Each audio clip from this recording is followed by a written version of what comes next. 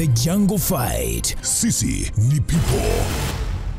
Novemba 25, bila shaka umekutana na promo na matangazo mbalimbali kwenye channels tofauti tofauti za Azam TV zikizungumzia The Jungle Fight, usiku ambao tunakwenda kushuhudia tukio la vitasa ambalo limeambatana na utangazaji pia wa vivutio vya utalii ambavyo vinapatikana hapa jijini Arusha. Ni usiku ambao utahusisha takriban mabondia 16 jumba about 8 pale Mount Meru hotel, hoteli moja kati ya hoteli kubwa kabisa za kitalii ambazo zinapatikana hapa e, jijini Arusha, lakini ni usiku ambao utabebwa na bout kubwa ambayo itamhusisha Dula Mbabe Tanzania huyu dhidi ya bondia Eric e, Katompa kutoka DRC. Ni rematch hiyo, lakini kabla ya hapo kutakuwa na bout nyingine. Sasa hii bout ni moja kati ya vitu ambavyo vinakufanya wewe mtazamaji wa Azam TV ulipie kisimbuzi chako muda wote kuelekea Novemba 25. Na ni moja kati ya sababu ambazo zinanifanya mimi nikae hapa kukushauri wewe ufanye kukufanya kisimbuzi chako kiwe active.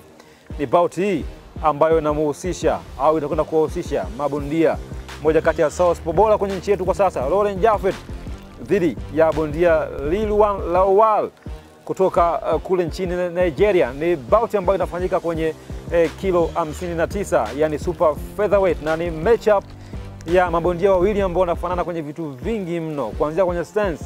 Ni matchup ya southpaw dhidi ya southpaw. Laurent Jaffet moja kati ya southpaw wa asili kabisa kwenye nchi yetu dhidi ya Lilwan Lawal, bondia mwingine pia ni southpaw kutoka nchini Nigeria. Lakini moja kati ya mambo ambayo yanawatambulisha mabondia hawa wawili ni matumizi mazuri ya jab. Laurent Jaffet ni miongoni mwa mabondia ambao wana jab ambayo ina nguvu sana, Steve jab.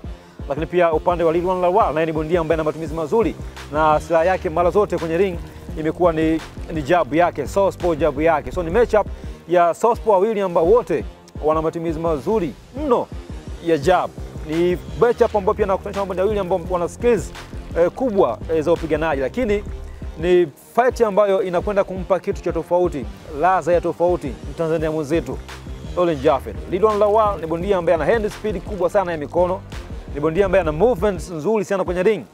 Footwork yake pia ni moja kati ya mambo ambayo nimeona hakiwa nayo mno, so ni vitu ambavyo anakwenda kuvileta kwenye ring ambavyo kwa siku za karibuni Laurent Jaffet hakuweza kuvipata kwa usahihi mkubwa sana. Of course eh, Pacman Nasib Ramazani ana spidi kubwa, ana movement nzuri, lakini kwenye fight iliyopita hakutuonesha yale mambo kwa ubora wake. Kwa hiyo haukuwa usiku ambao ulimpa mafanikio mengi sana Laurent Jaffet, lakini safari hii anakwenda kukutana na southpaw mwingine ambaye ana akili kubwa kama yeye, ana movements nyingi kwenye ring, sio flat footed, lakini pia ana jab ambayo iko very stiff, ina nguvu, ana spidi kubwa ya mikono, kwa maana kasi kubwa ya mikono. So ni matchup ambayo inakwenda kutupa eh, fight kali sana eh, sisi wapenzi wa vitasa na ni moja kati ya sababu ambayo inanifanya mimi nijiamini kukuomba wewe Mtanzania, mtazamaji wa Azam TV kuhakikisha kifurushi chako kwenye kisimbuzi chako kinakuwa active, kinakuwa hai muda wote kuelekea Novemba 25. Ni bout eh, kati ya Laurent Jaffet dhidi ya Lilian Lawal, na moja kati ya mambo ya kutisha sana kwa Lilian Lawal ambayo analeta kwenye hii fight ni rekodi yake ya knockout. Ana knockout ratio nzuri sana mpaka sasa kwenye boxing ya ngumi za kulipwa amecheza jumla ya mapambano 17, ameshinda yote, hajapoteza, huku 13 akishinda kwa knockout. Ni fight nne pekee kashinda kwa points. Tafsiri yake huyu bwana ni knockout artist. Kwa hiyo usiku wa Novemba 25 tumebarikiwa kuwa na knockout artist wengi sana. Dula Mbabe ni knockout artist mzuri sana. Lilwan Lawal mpinzani wa Ron Jafet ni knockout artist mwingine. Endelea kulipia kisimbuzi chako cha Azam TV ili Novemba 25 usiwasumbue watu. The Jungle Fight, sisi ni people, tutakutana. The Jungle Fight. Sisi ni people.